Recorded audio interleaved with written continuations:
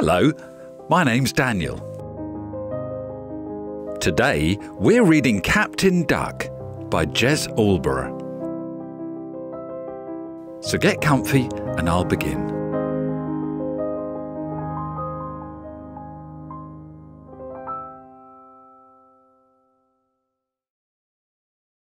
Brum, brum, brum, brum,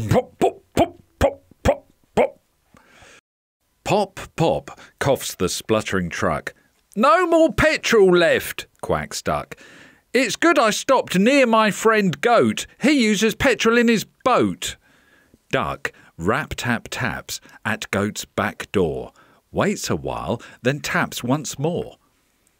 Still no answer, so instead he sneaks a peek inside Goat's shed. Hooray! cries Duck. A stroke of luck! Petrol for my thirsty truck. I'll only take a drop or two.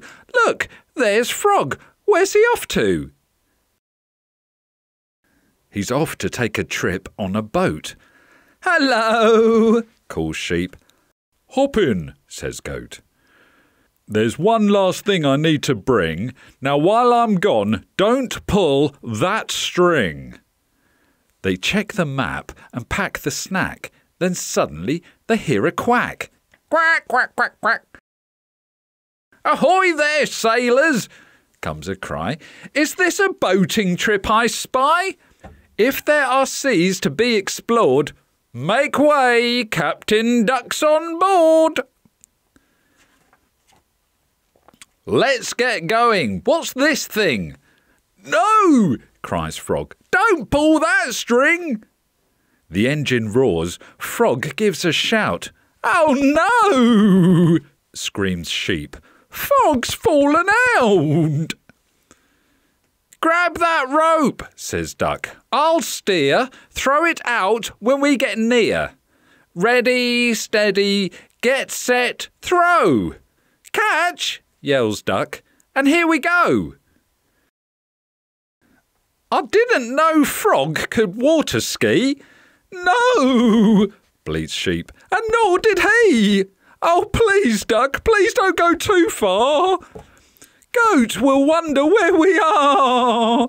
I think you'd better stop it now. I can't, yells Duck. I don't know how. Besides, we've only just begun and Frog is having so much fun. So Captain Duck steers the boat far away from poor old Goat, who finds his can beside a truck. Aha, he says, that naughty duck.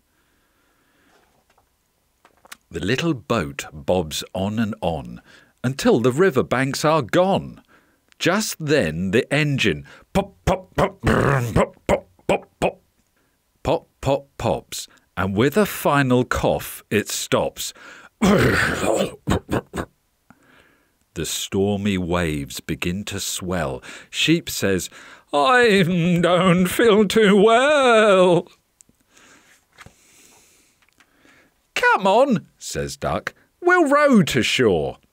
We can't, gasps Frog. There's just one oar. They huddle in the bobbing boat and snuggle close to Sheep's warm coat. And there, upon the restless deep, three lost friends fall fast asleep. Through the night, hour by hour, Goat keeps lookout from his tower. And then, at dawn, through bleary eyes, upon the tide his boat he spies. Sheep calls out, We're sorry, Goat. We left you here. We broke your boat.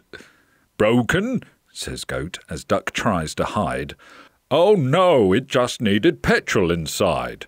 That's why I went back for the can I keep spare. I searched through my shed, but the can wasn't there. Wait, says Frog. Duck was holding a can. It was just before our boat trip began. So Duck took the petrol. That's right, says Goat. Now you know why there wasn't enough in the boat. Look, Duck's getting away, Sheep cries. No, he's not, gloats Goat, with a glint in his eye.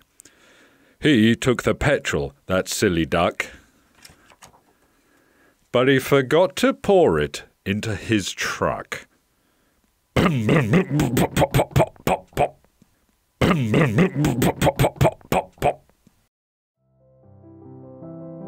Thanks for listening. See you next time.